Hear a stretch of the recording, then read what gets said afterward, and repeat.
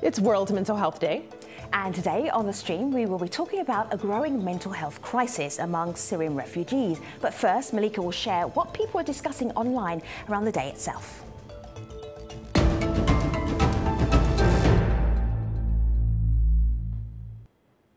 There's been an outpouring of personal stories and messages of support online under the hashtag WMHD17. One in four adults and one in 10 young people will experience a mental health problem, Kara tweets. Be kind. While Matt sends a reminder that mental health problems are not luxuries nor first world problems. Now, it's a point made clear by the International Rescue Committee, which tweeted this video of displaced Iraqi children recovering from trauma by using breathing and meditation techniques. And though mental health affects everyone, some online pointed out persistent stigma, in many cases involving men, and in others simply due to a lack of understanding. Now, it's a challenge some are addressing head on. One of those people, Sadiq Khan, the mayor of London, has spoken about his plans to reduce stigma. We've seen over the past few years the difference first aid training has to preventing people suffering from physical uh, uh, ill health, but also how we respond to that. I'm hoping having better mental health awareness will lead to fewer people suffering from mental health uh, issues. Those that do, they won't feel stigmatized, will receive the help uh, they need. The stigma just mentioned around mental health is just one of many barriers to treating Syrian refugees. Many have experienced or witnessed atrocities during the war in Syria, now in its seventh year. That war has created a staggering number of refugees, more than 5 million. Many are at risk of psychological trauma and in need of mental health services to cope with often brutal memories from home and the difficult journey to escape and start life in a new country. Turkish authorities have estimated that 55% of the 3 million Syrian refugees there need mental health care, while half of those families believe they need psychological support. In Germany, which has taken in almost 270,000 Syrian refugees, one study estimates 50% have mental health issues and have been victims of violence. Resources to address mental health are scarce, but experts say immediate treatment is needed to avoid long-term damage. Here's one way a Syrian child expressed the trauma he experienced in war. Have a look.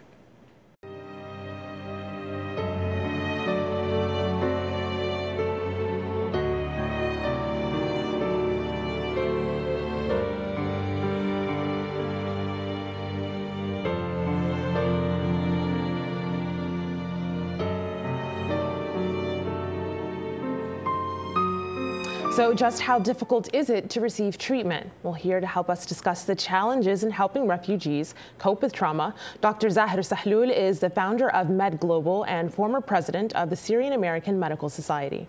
In Turkey, Leila Atik is clinical director for the Maya Foundation.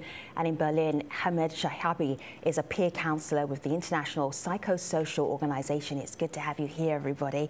Dr. Zaher, you are, are living your work on your Twitter feed. If Have a look here uh, on Dr. Zaher's Twitter feed.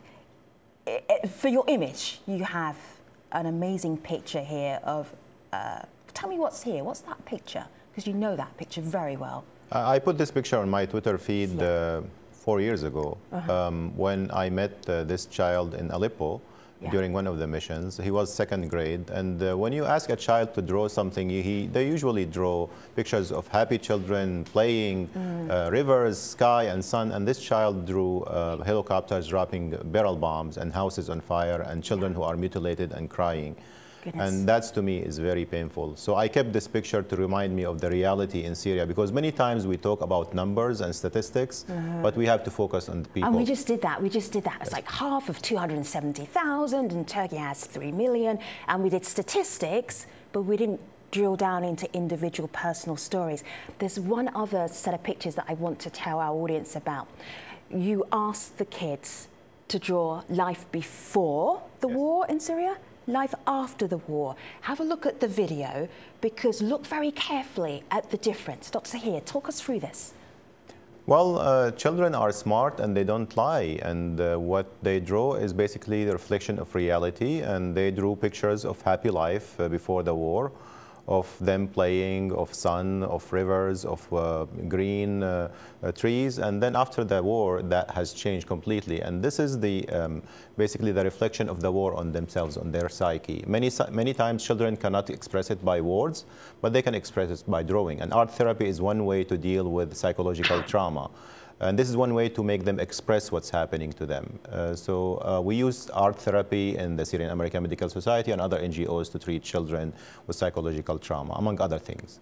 So here's uh, someone whose uh, that picture really struck them. This is Maureen Salim, a doctor on Twitter who wrote, pic drawn by a refugee child, absolutely tragic. Did anyone notice that the child drawn with, uh, child was drawn with a smile, heartbreaking. And I'll just zoom in here so you can see that. So this is... Uh, uh, that, that, that's amazing. You know, this child drew, the, the, the, the children who are dead are smiling mm. and the children who are alive are crying. So imagine this trauma to this child that he believes that all children who are alive are, are, are crying and they're hurting, mm. and the children who are dead are in better place. And this is the reality in Syria because it's not only that you are in a refugee camp, but inside Syria, you're, day after day you are exposed to extreme level of trauma and violence and you have to deal with it, and sometimes with very limited support by the community because of the stigma of mental health, because of the fact that many healthcare professionals do not have the training to provide mental health and uh, first aid, psychological first aid. And actually, Leila, that's why I wanted to bring you in here because I know you participate, you, you facilitate workshops of art therapy, and you have your own story of uh, when a child was drawing a picture of a mosque. Can you tell us that story? Um, we do get a lot of children who are drawing um, stories um, and memories and um, incidents that they have witnessed or they have heard. And one of those incidents was this child was drawing a mosque, and he drew something that was flying on top of it of the picture. And I asked him what what was happening in the picture, and he said that the mosque was about to be uh, to be bombed, and he said that nobody nobody was going to survive. Um, so then we talked about it a little bit more, and he told me that this was an actual um, incident that he witnessed, and that he knew that the people inside didn't survive, and he was just a passing by. Um, so I asked him if there was anything he would want to do and change in this picture, and he said that he would want to save the people that were um, being attacked. So then he said that he could call the mosque and tell the imam that they were about to be attacked and then also call the ambulances and warn them so that they could go and reach to the people and give them some help. So through this drawing and through an art therapy intervention, he was able to take control of his very traumatic memory and maybe escape from reliving it over and over again and have some sort of control over um, what's hunting him in his head because these are really vivid memories and real incidences that they have witnessed and um, most of them have lost loved ones in these um, in these wars um, and in these instances, attacks.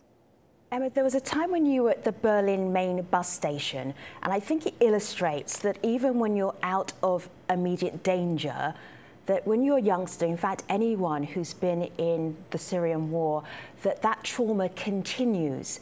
There was a child, and I want you to tell the story. Can you finish it for me? Exactly, was about to bring it up actually.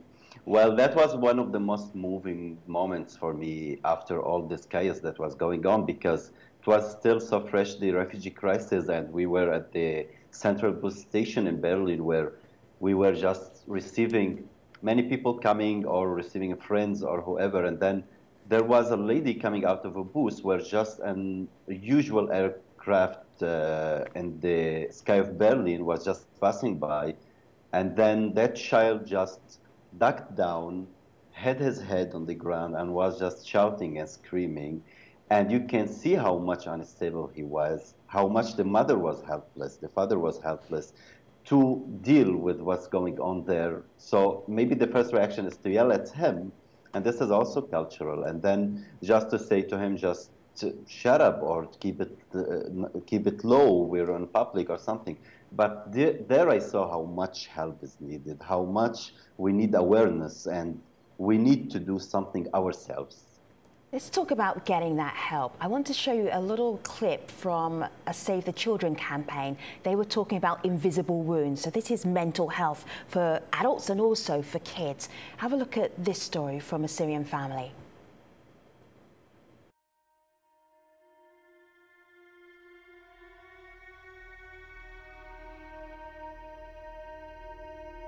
عندي أمل إنه يعني أوصل لتركيا مشان أعالج هذا الصغير. بس ما بعرف شو تفكيره إنه لما يش... إنه عم يشوف إنه عم يخاف بس بعرف إنه بخاف لما يسمع صوت الطيارة بخاف هيك بيركن يعني. شلون أنا وابوه نتساعد عليه؟ شيء على ظهري شيء على كتافي. كل النواحي نفسيا وجسميا. بس سبحان الله الأمل إني هالطفل يتعالج. يعني يعني إنه أوصل لمكان وأعالجه صدقا لحد الآن الفكرة ببالي Doctor, I, I, I defy anyone to watch that and not to feel pain. Where do you start? You have traumatized parents, you have a traumatized child, no longer in Syria, no longer in danger. What do you do? How do you start? Um, it's difficult for a Syrian not to feel pain and have tears in their eyes when they hear these stories because it happened with every family in Syria. We're talking about the worst humanitarian crisis in our lifetime where most of the population have been affected. My nephew himself uh, had the same uh, issues that this child had where he was afraid of hearing airplanes and jets because he was in the city of Homs and uh, in the middle of the bombing. So every time he hears an airplane, it's, you know, it brings memories with him. So that's the typical post-traumatic uh, stress disorder, uh, disorder, PTSD doesn't happen only to children, but happens also to adults, and it stays with them for the rest of their lives. And uh, so these children and adults are traumatized. They uh, are not able to uh, uh cope with the realities. Uh, they're under pressure in the refugee camps when they go to the refugee camps in Lebanon or Turkey or um, or Jordan uh, because there is no hope in the future. There is no schooling where schools can bring some level of normalcy. Uh, there is no community support. Sometimes children have to work early, so there's child labor, there's exploitation by um, extremist groups sometimes, and then you have early marriage for uh, young girls. Oh, oh my goodness. So, well, as a psychologist, where do you start then? That, that is almost, the, the list is, is almost unbearable of the issues that young people and their parents and adults are having to manage with? What, what's the toolkit that you can give them? I think the most important thing is, first of all, to educate ourselves and the community that these issues are happening and it will affect not only the child or the person who's affected with mental illness, but the whole society. Because this is the generation that will be rebuilding their homeland uh, when they go back. So unless we take care of them right now and we know, first of all, the scale of the problem and how can we uh, deal with it, they're not going to be able to build uh, Syria when they go back from the refugee camps. The other thing that we have to provide resources and put our minds, minds together. I mean, the, the reason that we're talking about this topic today because it's the, the uh, World Mental Health Day. And it's important to bring this issue. Mental health, a problem that is affecting not only refugees, but large number of people. In the Middle East, in Syria, there is a stigma with mental health. So if you are labeled depressed or anxious or have psychosis or PTSD, then people can call you crazy, in Arabic, majnoon, that there is this stigma that will stay with you for the rest of their life. And there are very limited resources available. Mm. So Ahmed, I could see you nodding your head there. I wanted to bring up this tweet uh, from Magdi who says, there is a lot of stigma on mental health and there in, are invisible disabilities that aren't recorded upon arrival to reception centers. So, uh, you know, we talked about when you actually have to, when you leave the conflict zone and you, you do reach safety in one of these other countries, you don't necessarily get screened for that. Should you? And, and is that something that people are aware of? Well, that's why in our peer-to-peer counseling, we make sure to assure the trust and the confidentiality. And that's a, a, huge point in assuring that you will not be stigmatized. I mean, like we keep it between us. And we always avoid to, when we approach uh, our uh, clients or the people that we offer them the support and we go to them or they come to us, we just make sure to avoid that word psychological or mm. anything because it is a big burden that we have to overcome every time. Like we do counseling uh, through the online tool in Lebanon or in Syria, and we always know that this is a huge obstacle and we have always to avoid it. Ahmed, I've got some pictures here. You did a, a, a, story with National Public Radio in the United States. Have a look here. This is you counselling uh, a newly arrived refugee.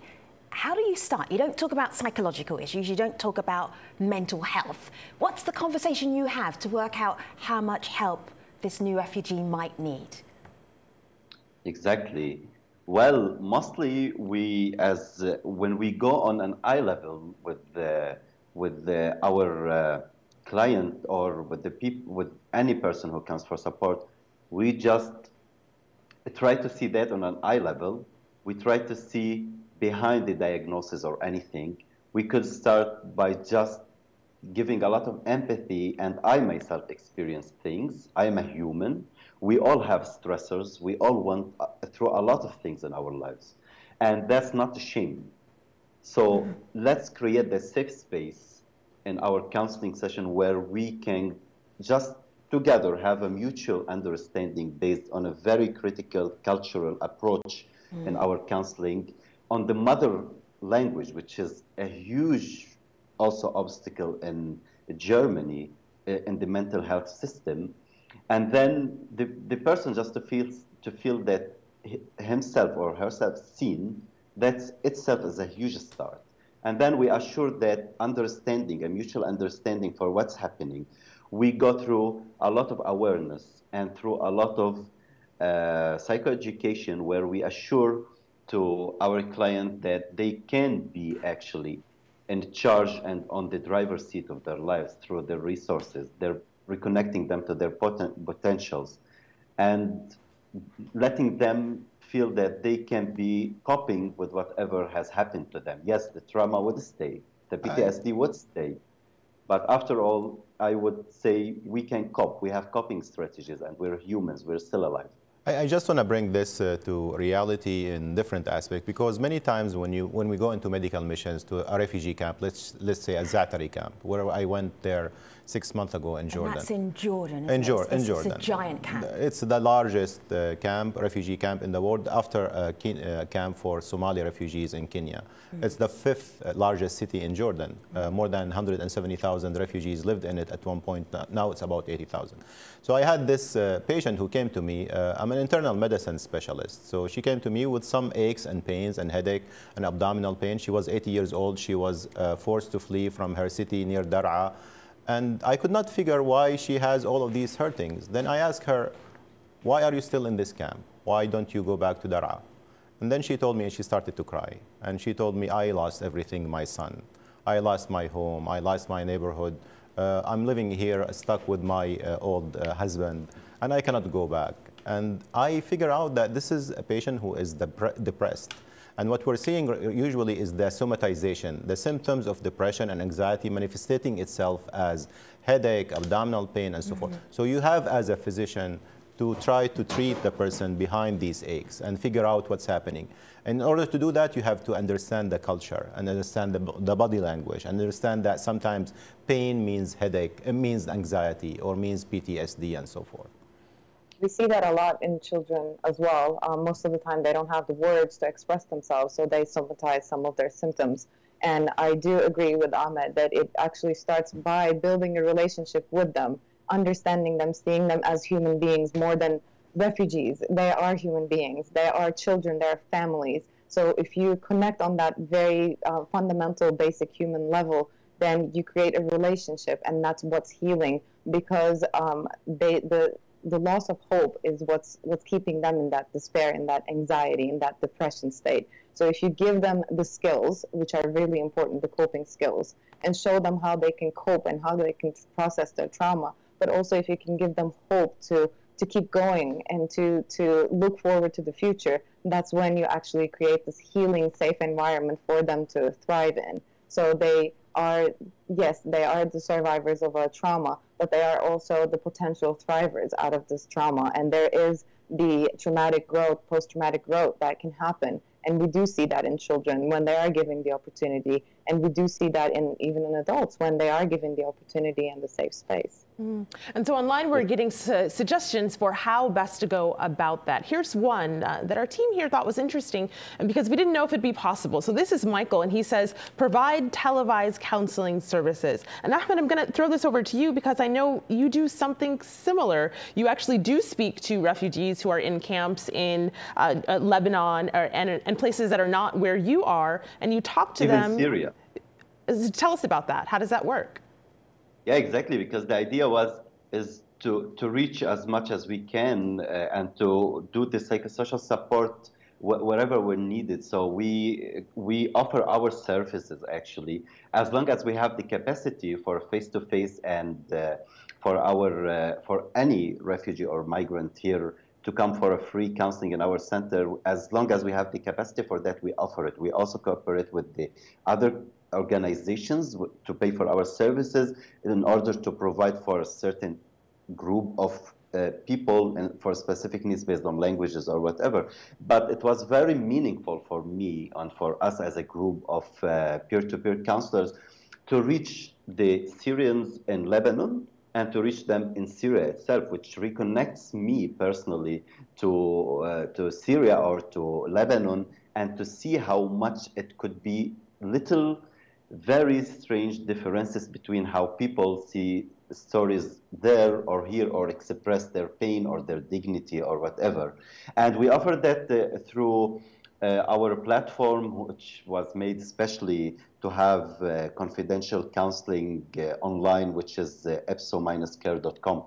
And uh, we do that through organizations uh, that give the awareness and what we do to the people uh, in the camps. They go around, and we have community mobilizers with internet points where the, the client would come and just have uh, an appointment, and based on the cultural and male or female uh, approach, they would just choose a counselor, and then on that uh, date they will have us, or on that appointment they will have the counselor ready and have as many sessions as they, as they need and have the support.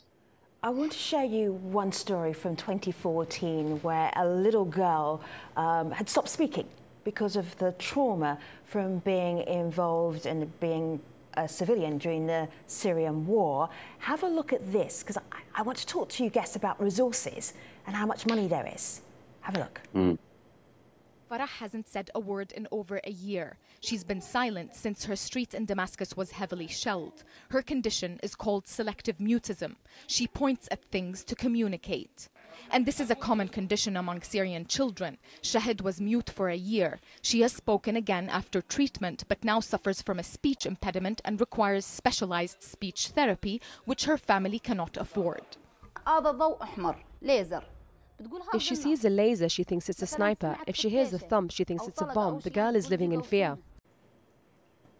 Layla, we've just heard of a few examples, a few families, a few refugees, but there are so many who really need help. Where is it on the list of priorities for refugees' needs in terms of mental health care?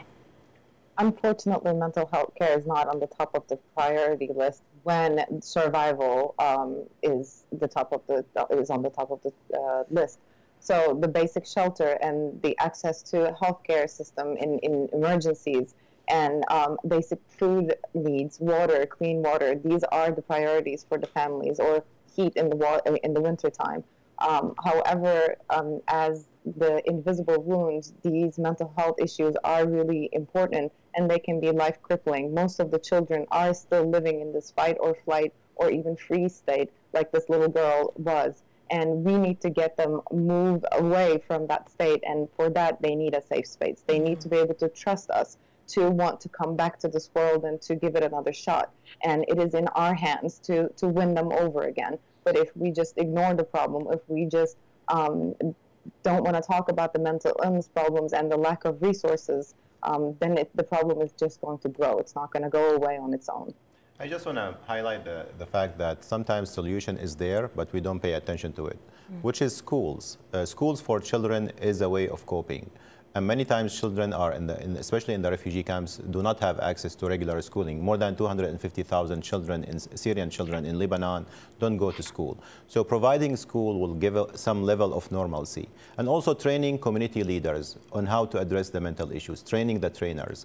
We have to come with creative ideas uh, because there is shortage of mental health specialists in Syria, in Jordan, in Lebanon. All right, Dr. Zaher, thank you so much. Founder of Med Global, uh, Leila Adja Akdi is from the Maya Foundation, and Ahmed Shahabi is from the International so Psychosocial Organization, three organizations that you can contribute to, support, to help the mental health of Syrian refugees. Thanks for watching, everybody.